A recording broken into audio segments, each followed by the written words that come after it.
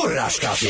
Száz százalék vidámság. Már 6 óra után 4 perccel is jó reggelt, jó reggelt ébresztő, hát akkor kezdjük el ezt a hetet, és itt van az így és Roland is. Jó reggelt, hello, hello, szevasztok. Azt nézem, hogy már rögtön reggel látok egy baleseti értesítést, úgyhogy ezt most így meg is kell lesnem, hogy ez majon mennyire érvényes még. Mert Kellemetlen, hogy a hétfő így indul. Figyeljetek oda, légy szíves. Tényleg. Egyre többet látok ilyen kis videókat, és hát már múltkor elég masszívan kitárgyaltuk ezt a témát, hogy mennyire figyelmetlenek vagyunk, és hogy valamilyen változás beálltak is agyacskánkba, mert hogy egyre több ilyen baleset van. Vagy csak figyelmetlenek vagyunk, vagy csak fáradtak, mindegy, hogy mire fogjuk, legyetek óvatosak, tényleg látsz részleteket ezzel kapcsolatban? Látok, viszont szerintem már nem aktuális, minden esetre azért elmondom, hogy tudjatok róla, hogy elvileg így kora reggeli órákban az M1-es autópályán a hegyes halom felé vezető oldalon Zsámbék térségében egy személyautó szalakorlátnak ütközött, és azt írják itt, hogy a 29-es kilométernél a belső sávot lezárták, Na most én jelenleg az élőtérképen ennek már nyomát nem látom. Hmm. Úgyhogy elképzelhető, hogy ez tényleg egy ilyen hajnali sztori volt, és már elmúlt hajnali kör, ahogy ugye az Iron Mafia énekli. Minden esetre azért legyetek óvatosak és körültekintőek. Na, és akkor küldjetek tényleg az infót. Itt vagyunk, úgyhogy figyeljük folyamatosan. 0620 97 8 97 ös minden esetre ne pötyögjetek, miközben vezettek. Jó, mert ugye ez is jellemző, ezt is szoktam ám látni nagyon sűrűn. És az a baj, hogy tényleg sűrűn fordul elő, és most nem felfelé kerekítek. Amikor látom, hogy az emberünk pötyög, miközben vagy a, a lámpánál áll, az még mindig a jobbik esete, még akkor se csináld, vagy látom, hogy a városban is simán közlekedés közben. És én értem, hogy fontos dolgok történnek ott. Na de annál nem fontosabb, mint hogy te éppen azt a járművet vezeted, amivel egyébként halálos balesetet is tudsz okozni. És most ezt azért akartam ilyen durván kifejezni, mert hogy ez egy tényleg egy halálos eszköz lehet, hogyha nem, nem vezeted jól, nem figyelsz oda. Vagy egyszerűen csak ráfutsz a másikra. Egy szimpla, egy ilyen kis koccanásos baleset, meg ilyen kis összeütközés, azért az is kellemetlen tud lenni, meg azért tud jelentősebb károkat okozni. Na igen, na a hétvégén annyi minden történt, azt nézem, egy csomó, csomó, csomó helyről posztolnak az emberek, az ismerőseim is, és hát mostanában szerintem ez, ez lesz a, a folyamat, mert hogy rengeteg esemény van, rengeteg olyan program, amire ellátogatnak az emberek, két ki ott, volt futóverseny is, láttam Tatabányán, onnan is rengeteg ismerősöm jelentkezett be, úgyhogy állítólag tök jó buli volt. Hát állítólag én is csak hírből tudom, de uh-huh. hogy igen, egy félmaratoni verseny volt, ugye? És uh, én is azt hallottam, hogy tényleg sokan voltak, jó hangulat volt, jól sikerült a, az egész, úgyhogy nyilvánvalóan ez egy, ez egy klassz dolog. Hát ugye, ami már egy kevésbé klassz dolog, az a, a kéziseknek a tegnapi veresége, mert hogy ők kikaptak Veszprémben, a kis Veszprémtől, és azért is hozom fel egyébként rögtön így a kéziseket, mert hogy egyébként ezen a héten is lesz nálunk kézisjáték. Nézem a kommenteket, és én mondtam neked itt korán reggel, hogy én attól vagyok egy kicsit csalódott. Nem is igazából attól, hogy mi lett a végeredmény, hanem attól, hogy milyen reakciókat vált ki. Most például ez a vereség, ugye 33-31 lett a vége ennek a mérkőzésnek, és hát alatta nézem itt a posztok alatt, hogy milyen alapvető hibák, nem már, a szurkolók mi nagyon jók vagyunk, ti pedig rosszak. Na hát e, röviden tömören lefordítva az egészet, és akkor nem akarom nyilván az összeset szó szerint írni, mert akkor az, az még erősebb lenne. De én mondtam neked, Zoli, hogy a szurkolói lélektan az ilyen. Ne keres benne logikát. Tehát ne keres benne észszerűséget. De Roland, ez de... mindig is így volt. Én most Igen. lehet, hogy most naív vagyok egy kicsit, Igen. csak most kezdtem el igazán mélyen foglalkozni azzal, amióta a, a csapatnak a részleteit is folyamatosan kitárgyaljuk, itt van, lehet nyerni, osztogatjuk a jegyeket, ugye az mégiscsak többet érintkezünk most konkrétan a kézilabdával, a tatabányai kézilabdával, és hogy most látom, most szembesülök vele én igazán, hogy, hogy, hogy hogyan működnek ezek a reakciók. És amikor megy a szekér, akkor ó, egekig magasztalunk mindenkit. És amikor valamilyen kis döcögés előfordul, lásd most ugye a kis Veszprém elleni vereség, akkor meg úgy, mintha az előző szériákat így elfelejtették volna. Igen, a legtöbb szurkolónak a lélektanát, ezt most tökéletesen leírtad. Oh. Így van. Tehát, hogy amikor egyébként tényleg megy a szekér és minden oké, akkor a csapat az Isten, amikor meg mondjuk becsúszik egy-egy vereség, akkor mindenkinek az összes női felmenőjét. Uh-huh. Hát itt páran azért így próbálják egészen jól leírni, hogy mi is történhetett. Sajnos a bírókkal együtt a bányász is kellően elfáradt a meccs végére. Hogy egy ideig ment ügyesen a dolog, aztán úgy valahogy a végén megrecsent a történet, aztán se baj, fel a fejjel jövőre majd lesz ez jobb, hajrá, bányász, na tessék, közben meg valakinek borzalom. Tehát, hogy így, na, nagyon megoszlanak. Minden esetre mi nagyon szurkolunk a srácoknak, és akkor lesz még a hétvégén, most a soron következő hétvégén nekik egy mérkőzésük, amire mi konkrétan a jegyeket fogjuk sorsolni, igaz? A 21-én a Kecskemétet látják vendégül, Hát most már azért nem feltétlenül csak a saját kezében van a csapat sorsa.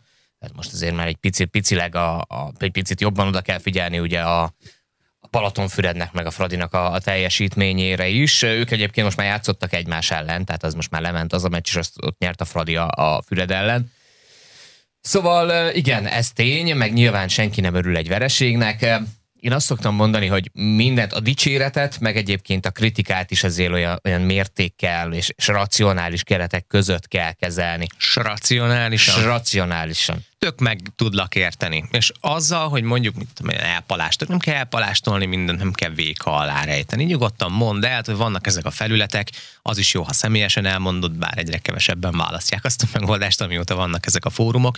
De hogy mondd el persze, hogyha valami nem tetszik, akkor adj ennek hangot. De mondjuk olyan módon adjál hangot. És akkor nem azzal van a baj, hogyha valakinek a negatív véleménye mondjuk elér valakit, mert rajtunk is szokott ez csattanni. Elfogadjuk, földolgozzuk, vagy reagálunk rá, vagy nem reagálunk rá. Hanem a módozattal van nekem igazán problémám. És mondom, nem azzal, hogy te ezzel nem értesz egyet, nyugodtan, persze, sőt, mondd el. Csak tudod, alapvetően egyébként ugye a szurkolás az egy érzelmi dolog. Uh-huh. És uh, nyilván, hogyha ha valakit elkap a hív, meg elkap ez a fajta lendület, az el tudja őt vinni nagyon pozitív és nagyon negatív irányba is. És pont az a fajta racionalitás marad ki ilyenkor, amikor, aminek például egy kritika megfogalmazásakor helye lenne. Mm. Szóval itt az a, az a nehéz dolog, hogy, hogy nehéz higgadtan hozzáállni szurkolóként egy ilyen helyzethez. Ó, hát Roland, én sem vagyok pszichopata, tehát ugye én is, hogyha végignézek egy meccset, akkor bennem is dugolnak ezek az érzelmek, főleg, hogyha tényleg egy ilyen lokál patriotizmus még akkor előjön, szurkolsz a saját csapatodnak, nagyon szeretnéd, hogy ők menjenek, jól játszanak, jó legyen a végeredmény. Hogyha valami nem úgy történik, akkor persze csalódott vagyok én is. Hát de hogyha hangot kell adni, hát gondolom nem a meccs lefújását követő egy percben írták meg ezt, meg a poszt se került ki rögtön azonnal utána. Szóval az alatt le lehet higgadni. Le lehetne. Így ja. van. Jó, okay. De egyébként ugye ennél már csak az az izgalmasabb. Elfogadom. Én ugye nagyon-nagyon sok uh, meccsről tudósítottam, nagyon minden, fociról, kézlabdáról, tényleg nagyon sokféle sportágról, és hogy uh, ott ugye a lefújás után interjúzó játékossal, edzővel, uh-huh volt olyan edző, aki mondta, hogy figyelj, csináljuk úgy, hogy én bemegyek az öltözőbe mindig a meccs után egy picit, lehiggadok, adj nekem egy-két percet. Kiüvöltözöm magam. És, és akkor utána már picivel higgadtabban jövök majd nyilatkozni, jó? Mi és ezt így csináltuk. Mi történhet ott akkor az öltözőben? És egyébként jogos volt. Tehát, hogy, mert azért készítettem egy-két olyan interjút, amikor éreztem, hogy még indulatból beszél az edző, és volt, hogy utólag ő maga is nem mondom, hogy megbánta, de azt mondta, hogy hát azért fogalmazhatott volna árnyaltabban is. Szóval az az egy-két perc lefújás után az tényleg fontos szerepet játszhat. Kell az öltöző időhöngés, igen, hogy utána akkor ne az jöjjön ki a nyilatkozatodban. Azok a kedvenceim, amikor vannak ezek az élő közvetítések, és hallod valakinek a hangját a háttérben, alatta, amikor valakinek a felmenőit szidja izomból. Hát az még hagyjál, legutóbb volt egy olyan, amikor be is szóltak a Hajdú Pistának konkrétan. Aha. A Fradi drukkerek, a Fradi Paks kupa döntőn volt azt hiszem a 90. percben, mert hát Szóval a Fradi drukkerek úgy érzik, hogy a Hajdú Pista nem feltétlenül a zöldfehéreknek szurkol, és valaki elkezdett neki bekiabálni, sírjál Pista! De jó. Mondd el, hogy kikaptatok! Ah, Ez kedvelem, kedvelem ezeket. Ja, hát szurkolás az ilyen, na persze, oké, okay, ja, lehet, hogy én vagyok egy kicsit naív, vagy nincs ebben akkora tapasztalatom. Mondom, én is volt, hogy szurkoltam, én valószínűleg velem nem fordul elő olyan sűrűn és mondjuk nem követem olyan mélyen egy csapatot. Na, a lényeg a lényeg, hogy a héten tényleg játszunk, és akkor mi még nyomon követjük az eseményeket folyamatosan, ami ugye a tatabányai kézilabda csapatot, a Grundfos csapatot érinti, és akkor a hétvégére pedig jegyeket fogunk sorsolni ezerrel. Úgyhogy figyeljetek, mert hogy egy kérdést fel fogunk tenni, és hogyha arra, hogy tudjátok a választ, akkor azt kell majd nekünk elküldeni szépen SMS-ben. Ami a Viber számunk is, tehát oda is lehet jelezni 0620 978 978 a közlekedés info jöhet oda. Forráskafé, forráskafé, hogy jól induljon a nap. Akik a vidám ébredést garantálják, Fenyvesi Zoltán és I. és Roland. Na, ha elmennék valamilyen koncertre, akkor például ők lennének azok, ez a Sophie Tucker nevű formáció. Na, az zseniális lehet. Egészen más élmény volt egyébként a hétvégén részem. Az nem koncert volt, hanem képzeld el, Ovibában jártam.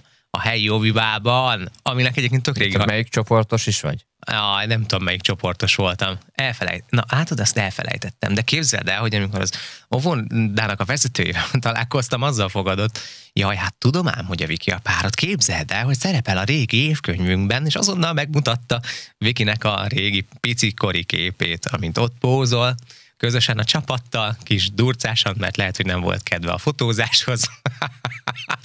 Olyan jók ezek a helyi dolgok. És képzeld el, hogy tök jól sikerült. És hogy így nagyon érezhető volt azért a csapaton, hogy volt egy kimaradás, és akkor így a falu népe, tudod, akkor tud találkozni.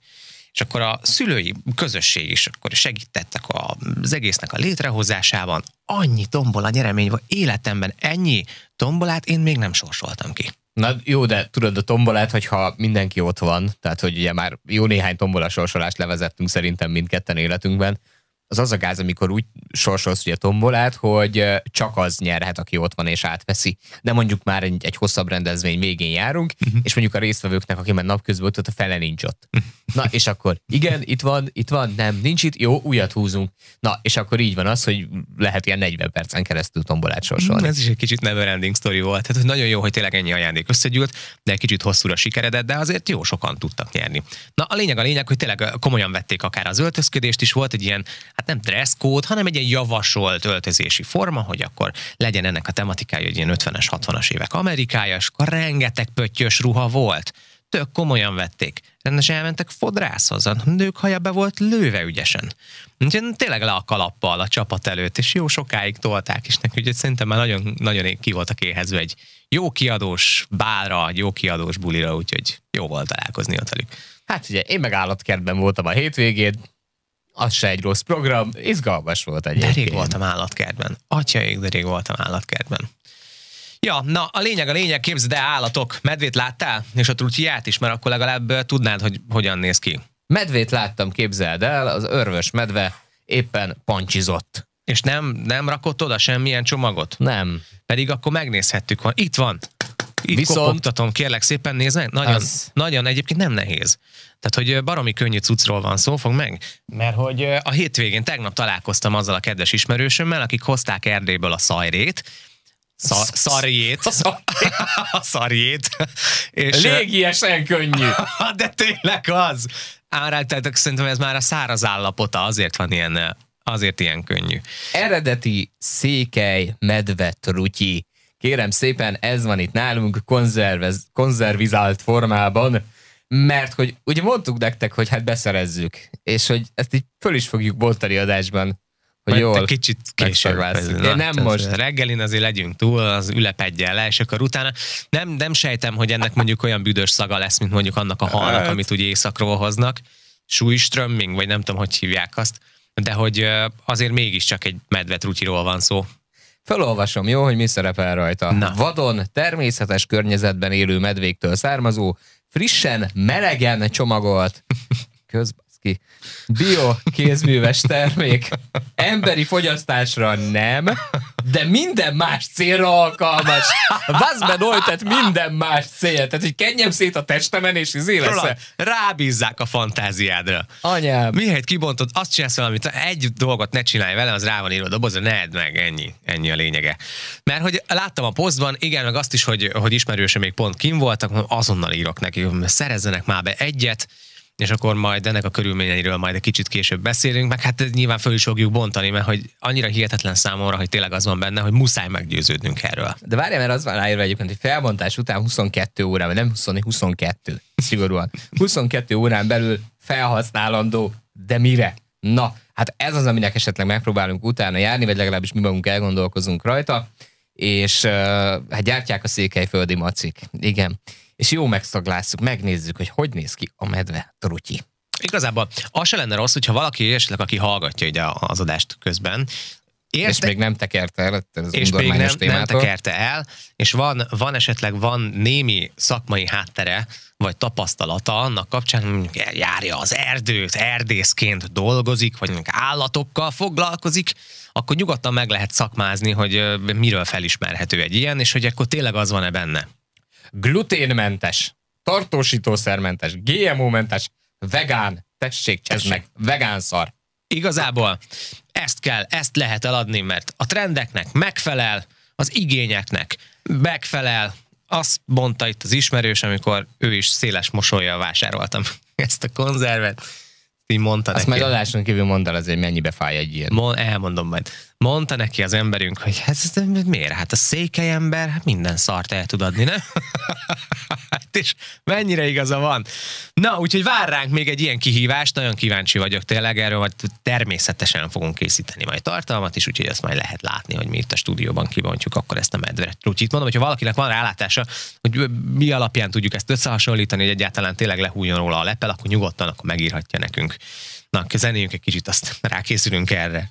Ébredj a Forrás Rádióval. Forráscafé minden hétköznap reggel 6-tól 10-ig. Négy perccel vagyunk fél hét után, és ma május 16-a hétfő van. Indítsuk el ezt a hetet, és egy nagyon nagy pacsi a Mózeseknek, mert hogy ez a névnap szerepel ma a kalendáriumban. Ez egyébként egy bibliai férfi név, hát valószínűleg egyiptomi eredetű lehet. A Mosze, vagy a Mesz szavakból eredeztethető, ez valakinek a gyereke egyébként ezt jelenti, ami például a Totmesz névben is megtalálható, de pontos eredete és a jelentése az viszont tisztázatlan. Népies magyarázata is van ennek, ami szerint az a jelentése, hogy vízből kihúzott. Hát ugye bár ugye a Mózes historit is nagyjából tudjuk, sejtjük. Illetve a botondok is névnapot ünnepelnek. Ma a régi magyar férfi személynévből származik, a buzogány jelentésű bot szó származéka. És akkor az egyik kedves forrás DJ-nek, a Maxim Botinak is boldog névnapot ezúton is. Hmm, nem hiszem, hogy ébren van egyébként most, de amit mégis akkor. nem az a fajta. Aki hallja, adják neki. Nem, majd egyszer, amikor föl kell, akkor adják neki. 1881-ben röppenünk vissza, mert hogy enapon, abban az évben, Esztergomban megalakul a Magyar Vörös Kereszt, ami azóta is folyamatosan ügyesen tevékenykedik. Nagyon sok helyütt. 1960-ban ezen a napon alkották meg az első lézert, ugye ez egy olyan fényforrás, ami indukált emissziót használ egybefüggő fénysugár létrehozására. Gyönyörű szép mondat, nem úgy keltem ma reggel, hogy én ezt el fogom mondani, de hát eddig eljutottunk. Legegyszerűbben kifejezve, a lézer egy összetartott, koncentrált fénysugár. Egy irányított szakasz. Minden eszembe jutott egy régi feldolgozás, egy filmfeldolgozás. Híres szülöttek is vannak. Rodolfo például, polgári nevénő Gács Rezső, kérem szépen, 1911-ben született ő, ezen a napon, május 16-án. Magyar bűvész volt, érdemes és kiváló művész. Azért ezt a nevet, Rodolfo, elég gyakran emlegették. Emlegetik mind a mai napig?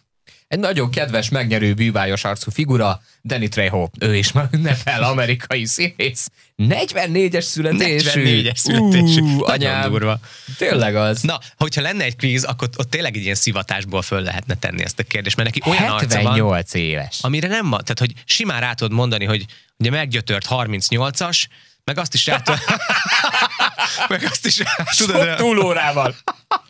Hát de nagyon durva, az a fickó nagyon durva, hogy kinéz. Mondjuk elég durva élete is volt. Igen, ugye börtönben is volt, visszaeső bűnözőként közel 11 évet töltött börtönben. Itt könnyű súlyú, majd középsúlyú boxbajnokká vált. Egyébként ugye a Machete például ugye az a karakter, amit így hozzá lehet kötni, de hát ő, ő szerepelt rengeteg-rengeteg filmben, ugye itt játszott ugye főszerepet, de hát eh, rengeteg tett felbukkantó az Antonio Banderas mellett, a Jean-Claude Van Damme mellett, Nicolas Cage, Al Pacino, Harrison Ford, Charles Bronson, Robert De Niro mellett is, ugye szerepelt például a Fegyenciáratban, a Desperádóban, hát ugye az is egy nagyon-nagyon kultikus film, ha már itt ugye a Banderas-t emlegettük, vagy a Volt egyszer egy Mexikó. Én nagyon bírom egyébként a, a Danny Trejo-nak a, a figuráját, Hát mondjuk nem biztos, hogy szívesen találkoznék vele egy sötét sikátorban, vagy valami hasonló küllemű fickóval.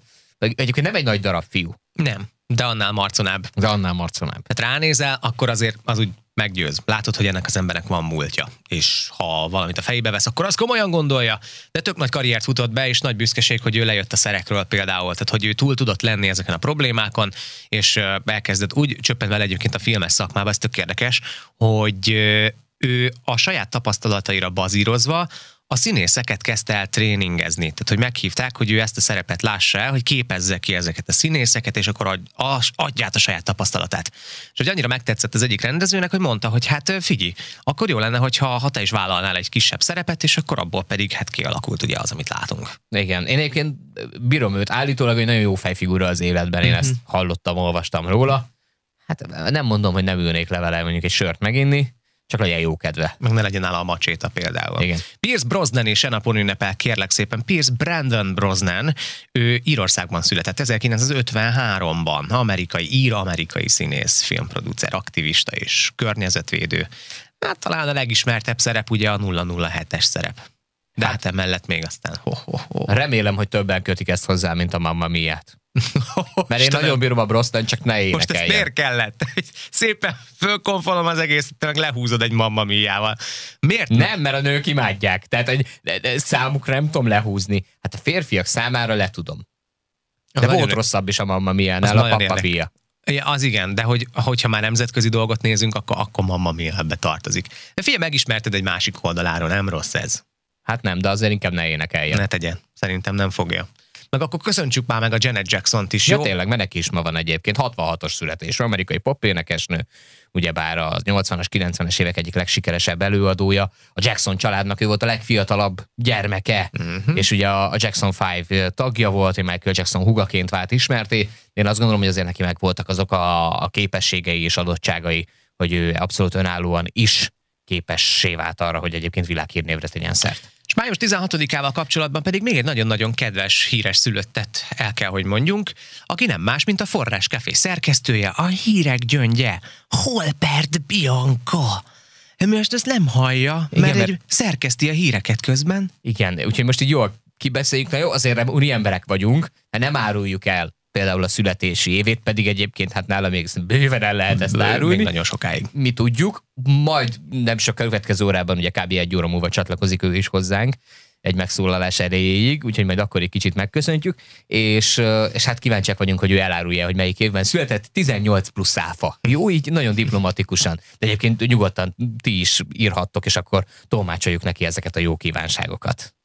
Kezd vidáman a napot! Ez a Café, a Forrás Rádió ébresztő műsora. Három perccel vagyunk háromnegyed hét után, és már korán reggel azt ígértük, hogy ezen a héten azért a játékunk pörögni fog, hiszen folyamatosan továbbra is nagyon szurkolunk a fiúknak, a grundfoszos kézilabdás srácokról van szó, akiknek a hétvégére várható egy, egy újabb mérkőzés, és most oda lehet például jegyeket nyerni. És hát ugye most pláne fontos, hogy begyűjtsék a, a bajnoki pontokat, hiszen ugye most a, a hétvégén uh, Veszprémben kikaptak, ugye a kis Veszprémtől 33-31-re, úgyhogy mindenképpen biztos, hogy javítani akarnak majd a srácok. A Kecskemét ellen ti is ott lehettek a lelátón, hogyha helyesen válaszoltok egy kérdésre. Hány gólt lőtt eddig a bajnokság 24 fordulója alatt összesen a Grundfos tatabánya? Az A válasz lehetőség szerint 704, a B szerint 204. A helyes válasz betűjelítés a saját neveteket küldjétek el SMS-ben 0620 978 978 5-ös. Ugye négyesével sorsoljuk mi ezeket a belépőket, tehát ma is négy darab belépőt nyerhet meg egy valaki, aki helyesen válaszol. Múltkor is kaptunk több jó élménybeszámolókat, meg képeket arról, hogy mind a négyen elmentek, szépen beváltották a jegyüket, ott szurkoltak, tök jó a hangulat, úgyhogy szerintem csapjatok le erre a lehetőségre. Meg akkor tényleg az sem mindegy elhanyagolható szempont, hogy mondjuk hányan vagytok ott, milyen hangerővel tudtok szurkolni, azért a fiúknak szerintem ez nagyon-nagyon fog kelleni. És itt tényleg elgondolkodtunk már korán reggel azon, hogy akkor milyen csapást jelenthet mondjuk egy csapatnak ez, hogyha mondjuk mondhatom, újból, mert kétszer fordult ez elő a kis Hát a kis Veszprém az idén valahogy mumusja. Aha, hogy akkor lehet, hogy, lehet, hogy tényleg ezt, ezt így behúzták valami, hogy sors is így akarta, vagy mit megrettentek az utolsó pillanatban, tök jól megy, hogy hogy dolgozza föl maga a csapat, de hát ugye tovább kell menni, tehát nincs sok idő arra, hogy mondjuk elkezdje búslakodni, meg hosszan húzd ezt az egészet, mert utána jön a következő, amiről ugye mi most aktuálisan beszélünk, a Kecskemét elleni. Ott egyébként mi lenne a papírforma ott? Hát ott ezt- egy, egy, egy határozott tatabányai Határozott. győzelem, de azt amiket, hogy Kecskeméten pont kikaptak. Tehát az talán az év negatív meglepetése volt, úgyhogy ott most mindenképpen javítani kell. Mert ugye jelenleg most ötödik helyre visszacsúszott a csapat ezzel a vereséggel. Most pont egyenlőség van a Fradi meg a kék tigrisek között, de a, a Fradi áll jobban. Tehát több is a győzelme egyel, meg a gól különbsége is jobb a, a Fradinak, de 30-30 ponttal áll a két csapat. Hát ugye az a baj, a mieinknél az a nehézség, inkább úgy mondom, hogy ők még mennek egyszer Veszprémbe, csak akkor a nagy Veszprémhez az utolsó fordulóban. Ott meg finoman fogalmazva sem ők az esélyesek, mint ugye általában egyébként Veszprémben senki más nem számít esélyesnek a nagy Veszprém otthonában. Úgyhogy most ez a Kecskemét elleni meccs, ez, ez, egy, ez egy abszolút kötelező győzelem. Na, kíváncsian várjuk akkor, csak akkor tényleg legyetek ott. Segítünk ebben, jó? Négyesével sorsoljuk egész héten, tehát nem csak ma, hanem egészen péntekig ez fog történni. Hogyha tudjátok a jó válaszokat, mert ugye minden napra más kérdéssel készülünk. A mai tehát így szól, hány gólt lőtt eddig a bajnokság 24 fordulója alatt összesen a Grundfos Tatabánya csapata. Az A válasz szerint 704-et, a B válasz szerint pedig 204-et. Ha tudjátok, akkor jöhet az SMS, a saját nevetekkel együtt, az legyen mindenképpen benne 0620 97 8 97 8 5-ös. Forráskafé. Jó kedvre hangol. 7 óra után 5 perccel vagyunk. Szevasztok, és nagyon nagy pacsi azoknak is, akik most kapcsolódnak be a reggeli műsorba. Ez a Café egészen tízig mit vagyunk a Rolanddal, és közben néztem, néztem itt egy videót, ugye a Tour de Hongri, az megy ezerrel, pénteki szakasznál konkrétan meg kellett állni, mert hát a vonat nem vár, jött a gyors vonat, kérlek szépen, piros lámpa, sorompó le, hát ha meg kell állni, meg kell állni. Hát a magyar safety car, az a MÁV. Ugye, mint a Forma 1-ben a safety car, ami összehozza a mezőnyt, nálunk ez a magyar államvastak. Kicsit rápihentek, rászusszantak, megvárták, míg szépen elhajt, és akkor mentek tovább. Hát na, azt, azt azért nem lehet elintézni, az azért kérem szépen, az már elég sok macerával járna, hogy még a gyors vonatot is lefolják, főleg, hogyha egy nemzetköziről van szó. Na, mi egészen más sportban vagyunk benne, a kézilabdában, mert ezen a héten ugye folyamatosan a jegyeket sorsoljuk, ráadásul négyesével szórjuk kifelé nem kell más tennetek, csak egy szerintem azért relatíve könnyen megválaszolható kérdésnek a, a válaszát, a helyes válaszát elküldeni nekünk SMS-ben a 0620 978 978 5-ös számra. Mondom akkor a mai kérdésünket. Hány gólt lőtt eddig a bajnokság 24 fordulója alatt összesen a Grundfos tatabánya. Az A válasz lehetőség szerint 7-es 104, a B szerint 204 gólt küldjétek el tehát a helyes válasz betűjelét és a saját neveteket SMS-ben, és ezzel nyerhettek négy darab belépőt a szombati Grundfos Tatabánya Kecskemét férfi kézilabda bajnokira. Majd még később is megismerteljük a kérdést, hogyha valaki esetleg nem hallotta volna ezt ikkonán reggel, akkor ők is tudnak majd csatlakozni, de egész héten lehet velünk játszani, úgyhogy péntekig még van bőven jegyünk, ezeket folyamatosan akkor sorsoljuk kifelé. És közben azért itt rá fogunk majd kanyarodni szépen a mai kihívásunkra, mert hát ha már egyszer RT-ből sikerült beszerezni ezt a gyönyörű szép konzervgyártmányt, ez dobozkát, aminek a tartalma mégiscsak trutyi, akkor kíváncsiak leszünk rá, hogy tényleg az van-e benne, úgyhogy 8 óra után ezt majd ki fogjuk bontani.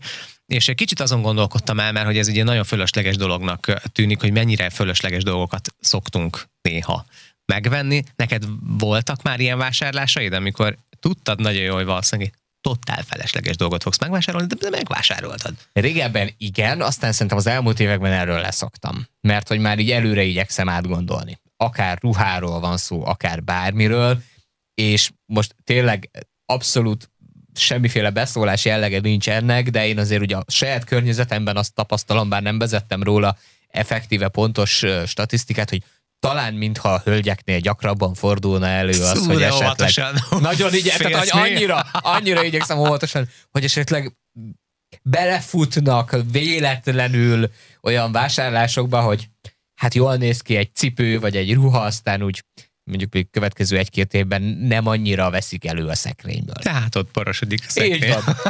é, könnyen előfordul ez szerintem a férfiakkal is, csak ugye a hölgyeknek a ruhákhoz való hozzáállása lehet, hogy egy kicsit mélyebb, vagy szorosabb, mint a férfiaké, bár az ellenkezőjére is láttam példát. Mi nem funkcionálisabbak vagyunk szerintem. Ja, értem. De hogyha nem csak a ruhákról van szó, hanem a kütyükről, vagy a hobbikról, akkor azért ott ez megint csak egy ilyen nagyon personális dolog, mert hogy ki mit részesít előnyben hogyha valakinek mondjuk van egy hobbija, relatíven mondjuk még drága is, és kütyük kellenek hozzá, meg elektronikai kiegészítők, akkor nyilván a másik szemében az egy óriási fölösleges dolog lesz, de te tudod, hogy nem, mert azzal kiegészíted a már meglévő készletedet, vagy újabbat vásárolsz, lecseréled, akár lehet ilyen egy peca. Szerintem a pecára is végtelen mennyiségű pénzt el lehet költeni, és lehet, hogy a hölgyeknek ez úgy fog tűnni, hogy minek az a boili, minek az ez, minek... hát nem tudod neki megmagyarázni, mert te benne vagy nyakig a témában. De vagy ne... aki mondjuk autóőrült, már megint új fel, és stb. stb. Szóval, hogy igen, ez, ezek benne vannak a pakliban, de az, az más, az hobbi, az sok esetben szenvedély, és hát igen, arra azért úgy költ az ember. A férfiaknál az például szerintem gyakoribb hogy ilyen, ilyen céllal Mindenki. adsz ki pénzt a kezedből, mint hogy csak úgy, mert hogy valami úgy megtetszik. Az is előfordul. Hát jó, de vannak ezek a bóvlik, érted, amiről már messziről szaglik ha már egyszer ilyen konzervünk van, hogy tudod nagyon jó, hogy egy jócska dolog, tehát nem, nem lesz jó, sem funkciója nincsen, ráadásul lehet, hogy még baromi ronda is. De hogy néha, hogy megveszed, már csak úgy poénból is vannak ezek a jó kis ajándékok, általában ilyen születésnapra vagy meglepetés bulikra szokták ezeket elvinni. Parti kellékesbe egyébként rengeteg ilyenek, ilyet találsz, de az direkt azért van az a, az a választék, mert amúgy normál esetben nem vennél ilyet, hogy valakinek poénból például kifejezetten jó lesz. És hogy akkor röhögtök rajta egy irdatlan nagyot, és mondjuk félreteszed, kirakod a vitrínbe, legyen akármilyen ronda, és mindig arra fogsz emlékezni, hogy mekkorát bulisztatok a haverokkal. De, tehát az tulajdonképpen nem haszontalan és nem céltalan. Hát így már akkor megvan a célja. Nektek volt-e ilyen? Volt egy ilyen posztunk egyébként fönn a Facebookon, majd azt is csekkoljátok le, mi is lefogjuk, mert nagyon érdekel, hogy akkor milyen örültségekre adtatok ki pénzt, amire tudtátok, hogy baromi rossz és hogy nem lesz semmilyen funkciója igazából. Arra vagyunk kíváncsiak, hogy akkor nektek volt -e ilyen vásárlás, és konkrétan mi az, amit megvettetek, amiről tudtátok, hogy semmit nem ér. 0620 978 978 ez tehát az SMS és a Viber számunk. Ide egyébként folyamatosan a közlekedési információitokat is várjuk, ha úgy kényelmesebb, akár még telefonálni is lehet, de ott van nekünk még a Messenger lehetőség, oda is várjuk az üzeneteket. A reggel jókedvű, de milyen lesz a folytatás? Mi, mi tudjuk, milyen lesz a mai napod. Café horoszkóp. A Kosnak a napi horoszkóp szerint el kellene gondolkoznia azon, hogy mit vár a jelenlegi kapcsolatától. Örök időkre szól, vagy csak szórakozik egy kicsit. Eljött az idő, amikor ezt már el kell dönteni. Vége a könnyű napoknak. Telihold van a Skorpió jegyében. Na de mit jelent ez a Bika számára? Ez egy nagyon jelentőségteljes nap lehet számodra, amikor dűlőre jutsz valamivel, lehet ez egy régmúlt sérelem, egy érzés, egy kapcsolat, a Skorpió Telihold felteszi a pontot az íre. Kedves ikrek, nem kellene folyton kétértelmű megjegyzésekkel mérgezni a párkapcsolatodat. Ha továbbra is szeretetben akarsz élni a társaddal, akkor mutasd ki ezt minden nap. Szeretitek egymást őszintén, és ez ma mindkettőtökben tudatosul. Munkahelyi problémák tehetik kellemetlenné a rákjegyű mai napját. Ha magadban nézel, el kell ismerned, hogy a feladataidat mostanában nem a tőled megszokott alapossággal végzed. Talán már unod, ez esetben ideje körülnézni, tovább lépni. Meglehetősen nyugtalan lesz ma az oroszlán, de épp ebben a nyugtalanságban születnek meg az új gondolatok. Merre vezet az utad a következő időszakban? Ma fontos válaszokat kaphatsz ezzel kapcsolatban. A szűz úgy érzi folyamatosan rossz lóra tesz, pedig ez korán sincs így. Azért, hogy nem minden terved jön be azonnal, még nem jelenti azt, hogy rossz felé keresgélnél, csak több türelemre lehet szükséged.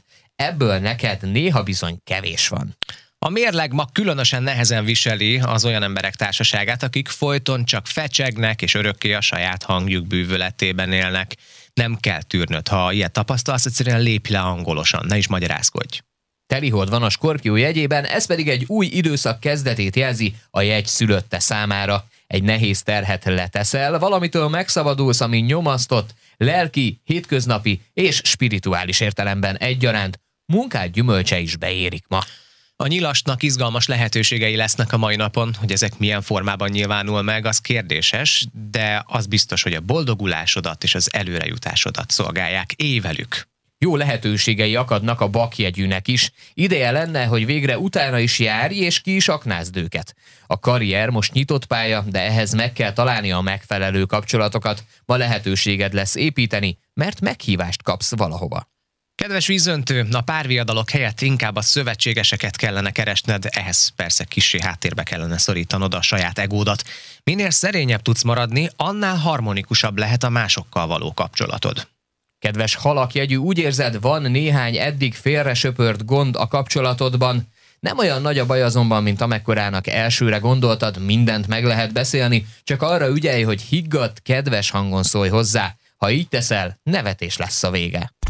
Közlekedési információk a Forráskaféban. Fél nyolc előtt vagyunk, három perccel, és uh, ahogy nézzük itt az útvonalakat, egészen tiszta a helyzet, ami a közlekedést illeti, úgyhogy talán ilyen nagy fennakadások nincsenek. Nem kaptunk arról sem jelzést, hogy mondjuk ilyen óriási fennakadások lesznek, vannak, vagy mondjuk uh, kisebb Vagy voltak. baleset, vagy voltak. Hát figyelj, forgalom van. Tehát azt látom, hogy belassulás azért a szokásos helyszíneken ott előfordul. Tatabányán, a Rákóczi-Ferenc úton, de kicsit följebb is, tehát hogy ott már a körforgalomtól elkezdődik kifelé, ugye az ipari park felé, ott a Buzavirág utcánál, ott a kereszteződésben, meg hát környén, ott baromi nehéz áthaladni. Az M1-es autópályán lesz ma munkálat. A Hegyeshalom felé vezető oldalon Török Bálint és Biatorbágy között az elválasztó sávban dolgoznak. Várhatóan reggel 9-től délután 3 óráig a belső sávot szakaszosan lezárják. Ez azért okozhat majd esetleg némi fennakadást. Az időjárás viszont kevésbé, legalábbis ma még nem fog fennakadást okozni, mert hogy elég hosszú napos időszakokra számíthatunk, aztán délután inkább már este felé, hogy nyugaton kialakulhat egy, egy zápor vagy zivatar, úgyhogy ez még holnapra is áthúzódik, mert holnapra írják igazából a felhőket meg a, a nagyobb légtömeget, úgyhogy emiatt vizesek és csúszósak lehetnek az utak. Ma még a napszemüvegre lesz inkább szükség. Nekünk meg arra, hogy megírjátok, hogy mi a helyzet odakint. Hogyha láttok bármit itt a megyében, akkor ezt jelezzétek nekünk SMS-ben vagy Viberen 0620 978 978 5-ös, és akár ezt még kihangosítóval hívhatjátok is, ha úgy könnyebb. Kezd vidáman a napot! Ez a Café, a Forrás Rádió ébresztő műsora. 348 előtt vagyunk, négy perccel. Bia, egy szót se szólj, mert egy nagyon fontos közlendőnk van. Isten éltessen téged születésnapod alkalmából! Boldog szülőcsi Köszönöm napcsét! szépen. A mai kalendárba bemondtunk, kérlek szépen. Tényleg? Mint híres szülött, A igen. Forrás Rádió hírszerkesztője és a Forrás Café szerkesztője, a hírek gyöngye, Holpert Bianca napon született. Jaj. Egy valamit nem mondtunk el, a születési évednek a dátumát, mert ez még csak úgy emberek vagyunk. Én azt mondtam, hogy 18 plusz áfa. Tehát ja, így az igen, életkorod. Igen, igen. Ez, ez reális. Ez Jó van. Maradhatunk ebben így? Tartható, igaz? Na hát, Üdvigán, egyébként volt, volt ünneplés, vagy előre nem iszunk a medve bőrére? Hát Majd- előre nem szoktam. Jó, a megtesszük akkor céges Akkor majd pénteken. kereteken belül, mert hogy pénteken ugye lesz egy kisebb van. céges összerőfenés, majd akkor ott kocintunk egy jó nagyot, oké? Okay? Okay. Hát vagy sok kicsit. Kinek megy? Na az a helyzet, hogy egy olyan dologgal készültél mára, amit szerintem te most nagyon szívesen hétfő reggel el is fogadnál. Az biztos, képzeljétek el, hogy a klasszikus kutyágy kényelmén felbuzdulva egy egyetemi hallgatópáros megtervezte a világ első emberi kutyaágyát. Ah, tehát úgy néz ki, mint az a szép nagy tepsi féle valami, amit Igen. a kutyák szoktak Em, belefeküdni. igen, csak embernek való méretben. Új, de jó. Az jó lehet, azt kipróbálnám, igen. Én Nem is. vagytok irigyek, amikor a, a kis kutya vagy a nagy kutya szépen befészkalja oda magát. Egyébként a macskáknak is van hasonló, csak ők nem nagyon szokták ezt használni általában a kutyák. És aki befészkalja magát totál kényelmesen, és úgy oda bújnál legszívesebben, de nem férsz oda? Hát igen, és képzeljétek el, hogy egyébként nekünk van otthon kandalló, és a kandalló elé szoktuk lerakni a kutyusoknak ezeket a fekhelyüket, uh-huh. És én fázós vagyok, és így télen így nézem őket, hogy ott a kandalló előtt a meleg, pihje, puha ágyba ott fekszenek, és annyira irigylem őket. Hát magadnak is kell egy ilyen. Ja, ha gondolkoztam, oda bekuparodok én is melléjük. De hogy ezek a srácok állítólag elindították, van ilyen közösségi finanszírozós oldal, ahol ugye az ilyen kütyüket, meg az új dolgokat, a feltalálmányokat, azokat így megjárathatod, és akkor, hogyha van kedved esetleg, vagy érdeklődésed, akkor előrendelhetsz, és akkor, hogyha összegyűjük a megfelelő összeg, akkor el tudják indítani a projektet. És ez úgy tűnik, hogy elég sikeres, mert általában tök sokan lecsaptak rá. Igen, igen, pedig ö, 400 dolláros áron fut, úgyhogy Hú, azért, azért van. Azért az nem karcsú. Hát az nem. E, Figyelj, én azt szoktam mondani, hogy alapvetően mi pasik hasonló alapfunkciókkal bírunk, mint a kutyák. Tehát, hogy ha veszed, hogy mi érdekel minket, hát úgy alapvetően például ugye a labda, jó, nem szoktuk a másikat szaglászni nyilván, de hát mi most eszünk, alszunk, a harmadik funkciót meg nem mondom, szóval, na. De és hogy azt is imádjuk, hogyha megvakarják a fülünk tövét. A Igen, hasunkat. A hasunkat például, igen. Szeretjük, ha dicsérnek. Elég sűrűn beugatunk például, mi is. Azért mondom, hogy nagyon sok hasonlóság van a férfiak meg a kutyák között szerintem. Egy valamiben azért eltérünk, hogy mi Ja. nem nagyon hallgatunk arra azokra a vezényszavakra, tehát hogy mi megyünk a saját fejünk után. Azt hittem azt mondod, hogy a kutya mindig hűséges. Nem, hát nem élet, miért ez nem így van egyébként? De egyébként ez is ez egy is pár, igen. Ez egy konkrét hasonlóság. Fel, fel is akartam háborodni rajta, hogyha ezt mondtad volna. Isten ments, Isten ments. De most abban te is el tudnád képzelni magad, nem, Bia? Mert annyira kényelmes, nekünk láttam pár képet Persze, erről. persze, és elvileg ezek az ágyak többet tudnak, mint a sima kutyafekhelyek, hiszen optimális szundikás, ö, szundikálási élményt nyújt, maximalizálja a kényelmet és elősegíti a biztonságérzetet, megkönnyebbülés nyújtva azoknak, akik ADHD, stressz és sorongá- szorongással kapcsolatos problémákkal küzdenek. Uh-huh. Vannak ilyen stressz párnák is, meg ilyen pihi párnák, amikbe bele tudsz kapaszkodni, vagy bele tudod. Az a lényege, hogy egyfajta ilyen bölcsőt képezzen magad körül, tehát hogyha bele tudsz szépen, bele tudod vájni magad az ágyikóba, vagy bármilyen fekvő alkalmatosságban, ami egy kicsit körbe ölel, akkor az tényleg ad egyfajta ilyen biztonságérzetet. A pszichológusok foglalkoztak ezzel. És ezért vannak ezek a szorongó párnák, ezek vannak ezek az, az ölelő párnácskák, meg a pulóverek például ilyenek, azok is hasonlóképpen működnek. Biztos láttatok ti is ilyen oversize pulcsikat, ilyen brutál nagyméretű ilyen kapucni is, bele tudsz bújni, az egész testedet eh, elfedi, még a lábadra is rá tudod húzni. Vettem a páromnak ilyet, imádja. Imádja. Ráadásul meleg is. Úgyhogy ez téli napokon nagyon-nagyon hasznos tud lenni. Meg tudjátok mi? A terhes párna. Én egyébként azt is néztem, azt így tök jó körbe A lehet ölelni. Aha, igen, Mhm. igen, igen. Az nekem is eszembe jutott, nekünk volt olyan, tehát azért, azért tudom, hogy igen. Ja, Ez... csak nem az asszony használta, hanem te. nem, nem nyúltam le, nem nyúltam le, aztán meghagytam neki, azt ő használta. biztos megtenném, biztos, hogy kipróbálnám. De ez a nyugi ágy, ez tényleg jó lehet. Tehát úgy kell elképzelni ezeket az ágyakat, hogy van ilyen kis pici karimája, de gyakorlatilag ilyen kis tepsi az egész, és akkor amiben a kutya szokott fekni, ab- abban most már mi is fogunk tudni. Mert nem tudom, figyeltétek el, ez most így a, a, a családoknál, az apró gyermekes új, újszülötteknél, meg az új családot vállalóknál fordul ez elő, hogy egyre nagyobb divatja van azoknak a fonott, párnaszerű valaminek, ami, amivel így kibélelik a kis ágyikót, hogy a gyerek ne menjen neki a rácsnak például. Rácsvédőnek hívják. Rácsvédő, ez a Igen, hivatalos ezt mondom neve? neked, hogy kiságyaknál az egy praktikus dolog. És így hívják, hogy rácsvédő. Azt kérlek szépen úgy hívják, hogy rácsvédő volt nekünk is. Úgyhogy azért tudom, és akkor azt így rá tudod szépen kötözgetni a Rácsvédő. kiságynak a rácsára. Nem Kiságyba. egy horribilis tétel, nagyon praktikus egyébként jól tud jönni, amikor Mhm. még pici a, a baba. Hát Igen. vannak ezek a fonott verziók, vannak ezek a párnák is például, ami szintén hasonló funkciót lát el.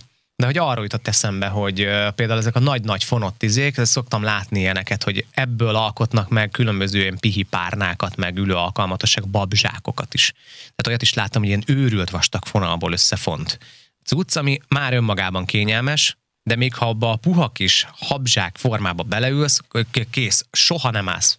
Ott fölön. azért, hogy nagyon kényelmes, de ha hirtelen föl kell pattanni, azt nem tudsz. Na, abból mire Az kikászálódsz, az egy kész kihívás. Teljesen esélytelen. Na jó van, akkor szúnyókáljunk egy picit, addig zenélünk, addig talán Bia is fölébred, na és akkor péntekre ráfókuszálunk, akkor mindenki füle hallatára biztos, hogy meg fogunk téged kocintani, Isten éltessen, Bia. Köszönöm. És hát nagyon-nagyon köszönjük, hogy jöttél ma reggel is. Forráskafé. Jó kedvre hangol. 8 óra után 2 perccel vagyunk, szevasztok továbbra, és jó reggelt nektek, ez a kávé, és egészen tízig mi biztos, hogy itt leszünk, és közben pedig látom, hogy a Petra is reagált erre a bizonyos ruhára, amiről beszéltem, hogy ez a duzzogó ruha állítólag, ez, a, ez az oversize, ez a nagyon nagy méretű pulcsi. Igen, Gyuri is reagált ő a párhuzamra, amit én említettem, hogy szerintem ugye alapvetően a férfiak és a kutyák alapfunkciói azok nagyon hasonlóak. Azt írta Gyuri, hogy jó reggelt, mondjuk én nem nyalogatom a saját tököm, ebben nem hasonlítok a kutyára. Visszaírtam Gyurinak, hogy reméljük másét sem. Ezt Ah, valakik ezt komolyan veszik elfelejtettem ezt a, hozzátenni. ez a, ezt a hasonlatot, igen. Hát Gyuri, figyelj, nem tudunk belekötni a teóriába, úgyhogy köszönjük szépen. Na, úgyhogy van, vannak azért itt hozzászólások, kérem. Na, az előző órában feltettük azt a kérdést is, hogy vannak-e például olyan dolgok, amelyek fölöslegesnek bizonyulnak, de igazából megveszed, és mi volt az a fölösleges dolog, amire te kiadtál pénzt. Péter írja azt itt, hogy jó reggelt nekem az a saját szabályom, hogyha valamin már gondolkoznom kell, hogy ez valóban kell-e, akkor az igazából nem kell.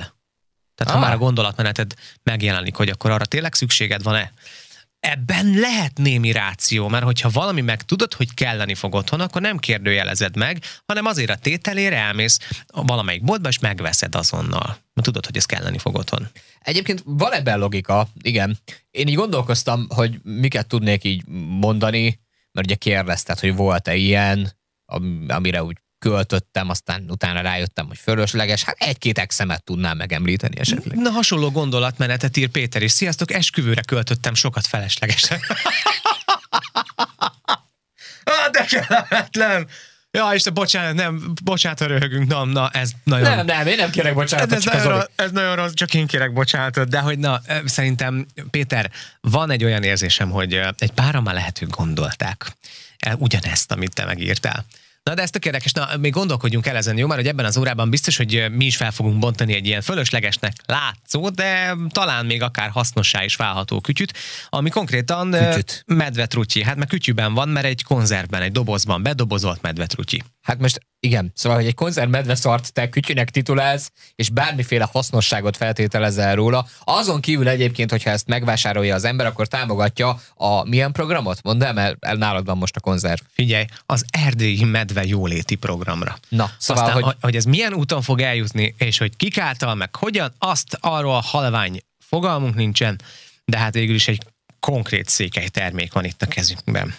Igazából tényleg nagyon autentikus, rögtön egyenesen korondról, kérem szépen Kovács Jenőtől, csak hogy hangozzon el az ő neve is, mert hogy egyébként ismerőseim korondon is megfordultak, tettek egy erdélyi túrát, aztán náluk láttam, hogy beleszaladtak ebbe, azonnal írtam, hogy akkor mo- most, most. Olivérnek, Juditnak is nagyon köszönjük, mert hogy lelkesen akkor beszerezték ezt a szajrét, Beszarezték. beszaraszték, és, akkor, és ez még jól is hangzik, már a székelyek is kb. így mondják, beszarasztem, szarasztem, és akkor elhozták nekünk ide és egyenesen hozzám le is szállították. Mihelyt megérkeztek, már mentem is a cuccér, úgyhogy köszönjük szépen. Egyelőre még fel kéne készüljünk, erre jó, hogy kibontsuk, mert mindenképp utána kell járjunk, hogy ebbe tényleg az van-e. Úgyhogy mi ezt ki fogjuk bontani. Na most ezt nyilván fogjuk így verbálisan prezentálni nektek adásban, de hogyha ti tényleg kíváncsiak vagytok arra, ha ti is szeretnétek látni, nem fogtok róla lemaradni, mert hogy videót is készítünk nyilván itt a konzerv medve trutyi felbontásáról, és hogyha majd ezt lecsekoljátok a Facebook oldalunkon, a YouTube csatornánkon, akkor ti is megláthatjátok, hogy milyen is a konzerves medve trutyi. Viszont mellette játékunk is van, nem medve trutyiért, hanem négy darab belépőért szombatra a Grundfos Tatabánya Keskemét férfi kézilabda bajnokira, ami ugye este 6 órától kezdődik szombaton a Tatabányai multifunkcionális csarnokban. Négy darab belépőt nyer valaki, aki helyesen megválaszolja a következő kérdést. Hány gólt lőtt eddig a bajnokság 24 fordulója alatt összesen a Grundfos Tatabánya? Az A válasz lehetőség szerint 704, a B szerint 204 találatot.